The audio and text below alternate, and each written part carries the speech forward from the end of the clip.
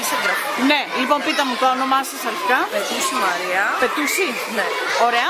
Ε, είμαι η πρόεδρος του Συλλόγου Γονέων και Κυδεμόνων του 13ου Δημοτικού Σχολείου της Ζάνη. Για μία ακόμη χρονιά Για μία- κάνετε ένα πολύ όμορφο μπαζάρ. Ε, ναι, συνεχίζουμε για τρίτη την επόμενη χρονιά. Ε, διοργανώνουμε πα- μπαζάρ πασχαλινών ειδών. Πάντα ο στόχος μας είναι να ενισχύσουμε αδύναμες ομάδες της κοινωνίας μας ή ε, διάφορους άλλους τοπικούς φορείς οι οποίοι έχουν ε, επιτελούν σπουδαίο έργο και έχουν ε, ε, ανάγκη βοήθειας από όλους μας. Ε, Φέτος και πάλι τα παιδιά έδωσαν τον καλύτερο τους αυτό, έχουν φτιάξει υπέροχα πράγματα. Ε, και τώρα όλα αυτά διατηρούνται προσχώρηση. Περιμένουμε να μας επισκεφτούν πέρα από τους γονείς του σχολείου και ο υπόλοιπος ε, κόσμος.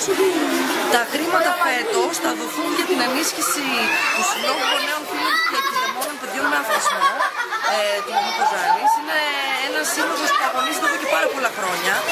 Ε, έχει κάνει σπουδαία πράγματα και αυτή τη στιγμή έχουμε καταφέρει να έχουμε το πρώτο κέντρο ημέρα στην περιοχή ε, που εξυπηρετεί παιδιά εκτός από τα άτομα που έχουν αυτισμό και παιδιά με άλλες ηλικίες ε, Νομίζουμε ότι είναι πάρα πολύ σπουδαίο αυτό το έργο και θέλουμε με κάθε τρόπο να βοηθήσουμε να το εξοπλίσουν, να το στελεχώσουν και να δουλέψει για το καλύτερο.